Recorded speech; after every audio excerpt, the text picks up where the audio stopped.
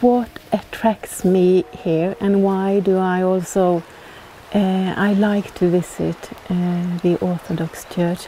And I I think it's this mysterious uh, that you cannot explain. Uh, but I uh, I feel it here in Romania. And I'm drawn to Romania because it's it's holding something of this deeper mysterious I sold my home in Norway, left my job when I was around 52. My family said I was crazy, they don't understand me, but there was something deep in me that was calling. And I moved to Malta, and uh, it has changed my life, and I feel I am on the way to something new and I have to trust that. I see my money go down because I live from what I have from my house and I feel I cannot go back to work as economist like I did. So it's, it's just a trust that Jesus will change you into the way where he can use you in a new way.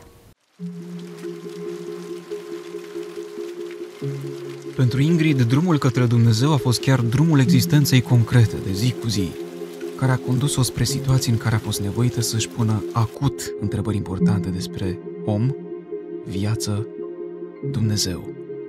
Când și-a dat seama că rădăcinile s-au înfipt prea adânc în cele ale pământului, lipsind-o de perspectiva cerului, Ingrid a ales un traiect mai mult pe verticală, Then one night in 2015, December, I was dreaming the whole night about Romania.